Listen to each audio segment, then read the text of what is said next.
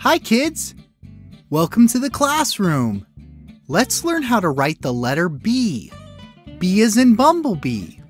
First, we'll start with uppercase or big B. To write uppercase B, we'll start at the top, then go down to the bottom. Then we'll go back to the top and do a curved line to the middle. Then we'll do another curved line to the bottom. Good job! Let's do that again. Go to the top and draw a line down. Then go back to the top and do a curved line to the middle. Then do a curved line to the bottom. Good job! Now you try.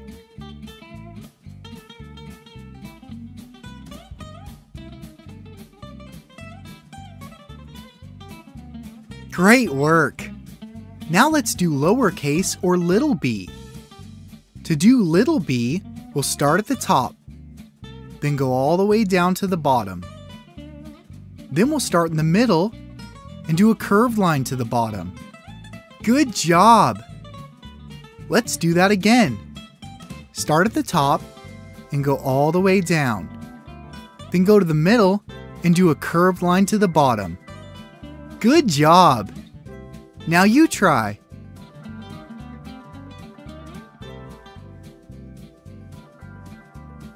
Good work! Now you know how to write the letter B. We'll see you on our next video when we learn how to write the letter C.